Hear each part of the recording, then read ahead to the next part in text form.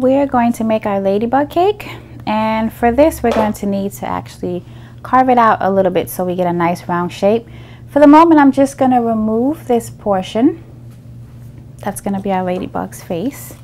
And you can just basically use a regular uh, short kitchen knife, which is very great for carving.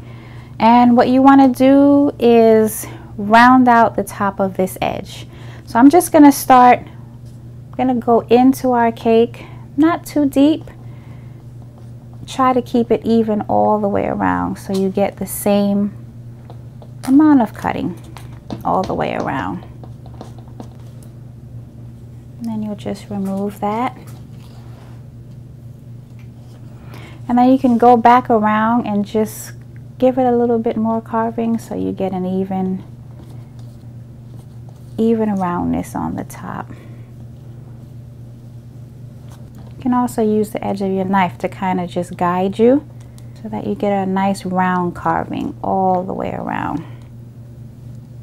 Now if you need to, you'll cut away just a little bit to make sure that it's even Again, you're just going to use your knife as your guide around the cake so you make sure that it's even. we'll just cut away just a little bit. Alright, that side is even. Alright, so that's pretty even. We'll scrape that all away. We'll put our ladybug back, take a look at it, and make sure that it's I think that's pretty good. I don't think we need to cut it anymore.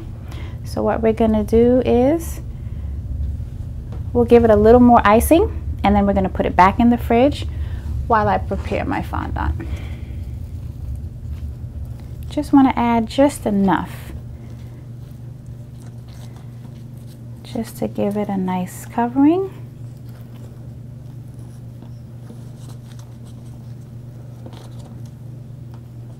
Never want to add too much icing when you're going to work with fondant because then that causes air bubbles.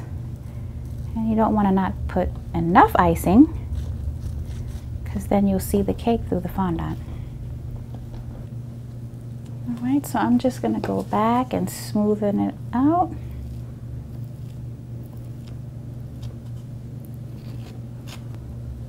All right, we'll just stick our ladybug's head back here for the moment. We'll stick this in the refrigerator and while I prepare the fondant, it should chill just enough.